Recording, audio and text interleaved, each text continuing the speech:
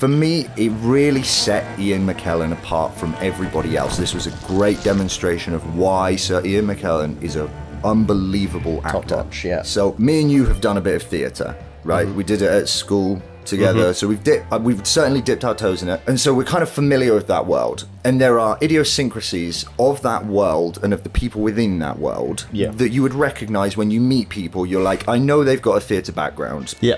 And this film is crafted not just by the writer or the director or the actors, but everybody in this film loves theatre. Right. Okay, so it permeates throughout it. There are tons and tons of instances of this, okay? But specifically, the dialogue has been written by somebody who loves theatre and who loves literature. And the way it shows itself, the way I could best describe it is you know how Tarantino's love for cinema permeates throughout his films? Mm-hmm. The person, the people behind this, their love for theatre and the writer's love for theatre and literature permeates throughout this, but it doesn't translate as well. And one of the areas where that struggles the most is the dialogue, because basically what you've got is lines that are incredibly poetic and really, really beautifully put, but not what a, a human being would ever say. And every single other actor on the set, a lot of people have said Gemma Arterton was very, very good, and Mark Strong was very good. Mark Strong's in this. Yeah. He had hardly any lines, uh, but he was awesome. Gemma Arterton wasn't that good, to be completely honest, and Okay. and it wasn't because she isn't a good actor, but because these lines of dialogue just sound strange coming out of people's mouths. They just sounded weird. Now I've brought one line of hers that I could find. So she's speaking to Jimmy, mm-hmm. and she is pleading with him, and she's saying, "Why are you so horrible to me?" And the line is, "I grew up reading you. I wanted to act because of you. I so wanted to meet your standards, but you think I'm appalling." Now, when she said it, I just thought I could hear that on a stage, but it doesn't sound right on the big screen. It just sounds Right. weird. Everybody struggled with it, except from McKellen Right. he didn't just manage to make these lines sound real. Right. He actually sung with them. He brought something Okay. out of them that regular dialogue just doesn't have. A lot of the delivery that he came out with felt both real and better than real. Okay. And he managed to make insanely difficult dialogue work.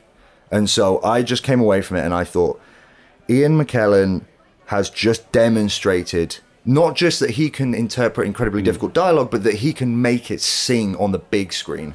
Something really interesting about that is uh, there's an, a very old um, clip of Ian McKellen on the Dick Cavett show. Okay. Which would have been in around maybe the 70s or this. Uh, Dick Cavett show went on for a long time. It could have been a bit before that. But this was a young Ian McKellen. Now, for many people, Ian McKellen only really gained notoriety in the late 90s, early 2000s when he was in uh, the X Men and Lord of the Rings. Yep. Uh, and there's a film like Monsters, uh, I can't remember exactly what it's called, where he got a, an Oscar nomination. Now, he was a. Of, he was pretty old when he became globally famous. Before that time, he was a very successful theatre actor, but certainly not a household name.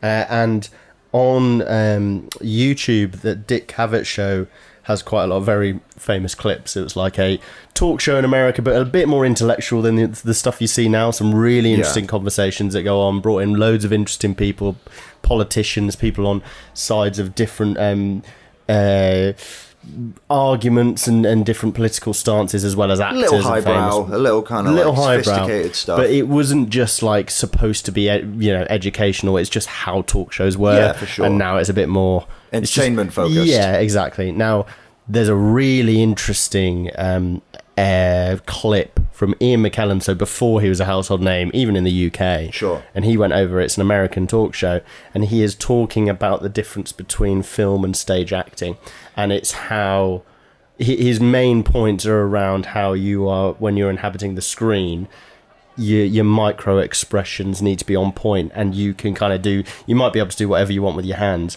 and he makes a comment how you'll have really successful film actors go onto stage and it's it's quite painful sometimes because of the way they they don't know how to move their body. They feel out of place, and it's interesting that he was the one who that theatre talk translated so well for, Yes. as someone who has been so successful in both mediums. Uh, and clearly, he was a step ahead of the others in terms of achieving Absolutely. what they were trying. it really highlighted specifically his professionalism. You know, Yeah. like you say about how he his he has been successful in both worlds, and I really want to make it clear that I don't want it to sound like I am saying anything bad about the rest of the cast because I actually think the real thing that let it down was more the dialogue. It was just mm. way it just wasn't meant for the screen, Right. And there are very few people who could make it work the way that he did. Now, thank God he had 90% of the screen time or 80% of the screen time because that absolutely rescued the film.